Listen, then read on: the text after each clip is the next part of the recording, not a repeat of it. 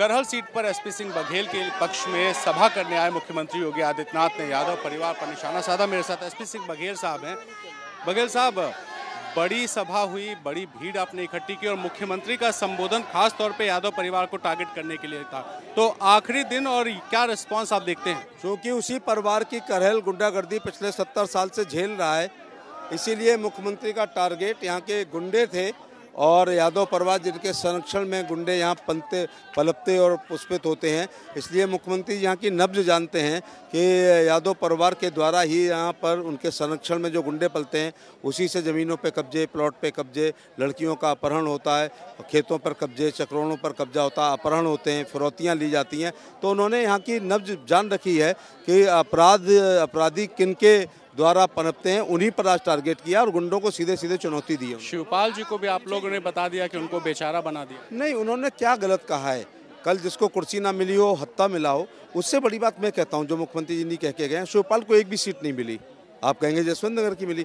जसवंत नगर में उनसे अच्छा कोई नहीं लड़ता।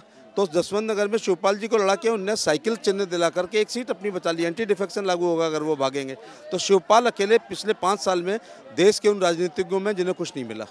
चलिए, आखिर सवाल ये, आज आखिरी दिन है। परसों क्या आप इतिहास रच पाएँगे या गढ़ जो है नहीं बचाने की, क्या मतलब रिस्पांस किस तरीके का? रिस्पांस ऐसा है कि अगर चुनाव आयोग मुझे अनुमति देता या नियम होता तो सुबह के तीन बजे भी सभा होती, नुक्कड़ सभाएँ होती हैं। वो है ना कि कैसे कैसे मंजर सामने आने लगे हैं। रोते रोते लोग चिल्लाने लगे हैं। ये दुष्यंत की बात हमें यहाँ होती है और यही वो जो है ना कि ये लोग कह रहे हैं कि सिर्फ़ हंगामा खड़ा करना मेरा मकसद नहीं, मेरी कोशिश है ये सूरत बदलनी चाहिए, वो हो रहा है। और वो है ना कि ये बुनियाद हिलनी चाहिए तो सेफ़ ही बुनियाद है। मैं पढ़ देता हूँ कि हो गई है पीर पर्वत सी पिघलनी चाहिए, इस हिमालय से कोई गंगा निकलनी चाहिए।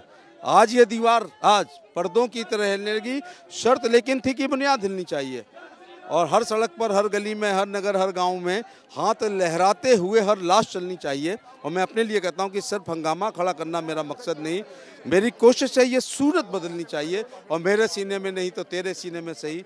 हो कहीं भी आग पर आग जलनी चाहिए। हो कहीं भी आग, लेकिन आग जलनी चाहिए, ये कहना है।